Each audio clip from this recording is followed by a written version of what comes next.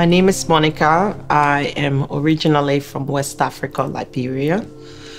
I come from a very big family of eight children. Um, one memory I have is about my siblings and I just sitting around at home and listening to my uncle visit from the village and telling us stories. Stories were a really big part of my family growing up. My mom made up her own stories that I still remember today, and I still tell my children those stories. In 1989, um, rebel forces invaded Liberia. My family and I was forced to go into exile in Guinea, which was the closest uh, country. Different humanitarian programs became available in order to help us settle. And one of the available programs was the re resettlement program headed by the UN.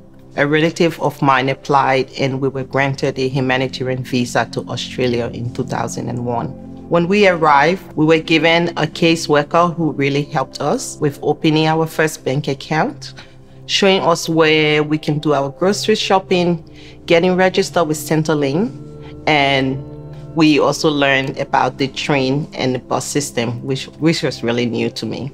The caseworker stayed with us for at least three months. Uh, we then moved to our own house. So the first year for me was really, really hard. Um, I was away from everything that I knew and most of my immediate family.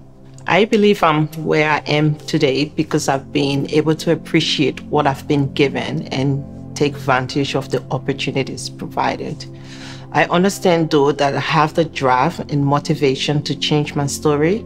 I have been helped every step of the way by the people from the first Liberian families I met to the Australians who helped me understand and be a part of the Australian culture.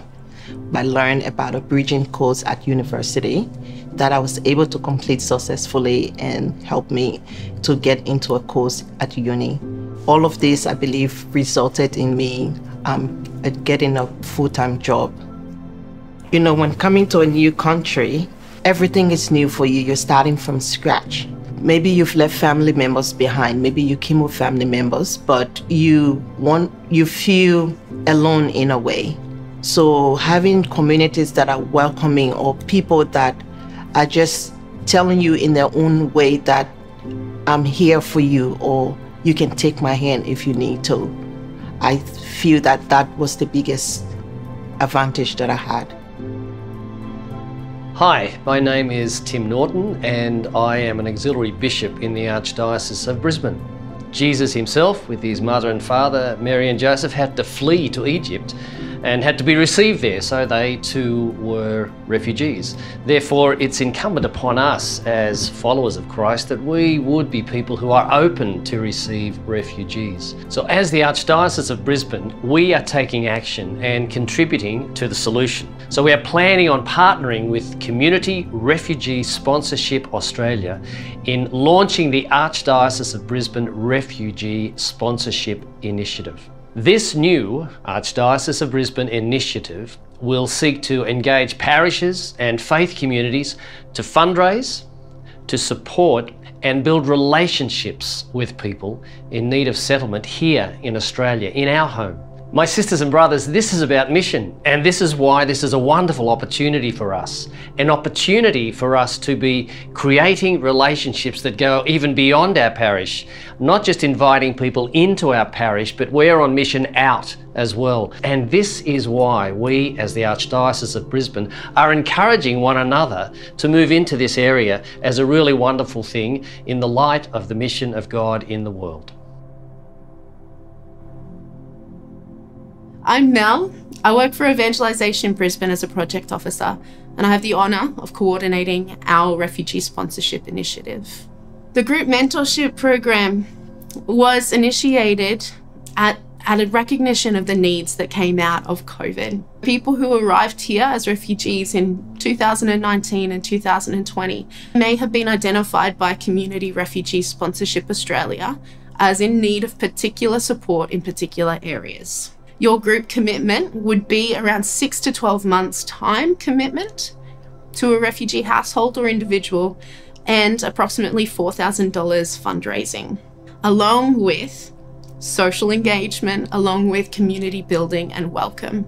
The CRISP program, or the Community Refugee Integration and Settlement Pilot, um, began this year and it's designed to allow community groups to fundraise and socially support and welcome refugee households and individuals who are currently outside of Australia waiting for their opportunity to settle in a safe place, in a safe home.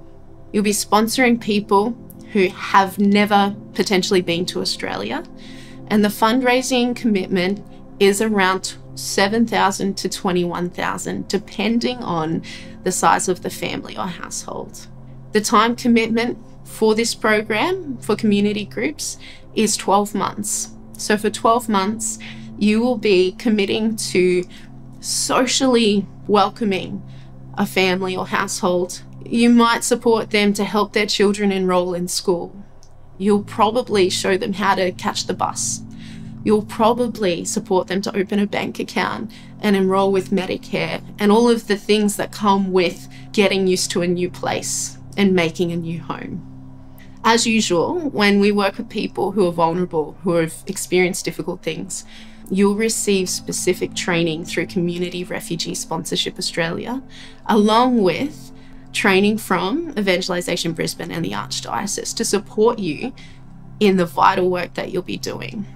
Get ready to welcome a refugee family or individual into Australia by thinking about these three steps.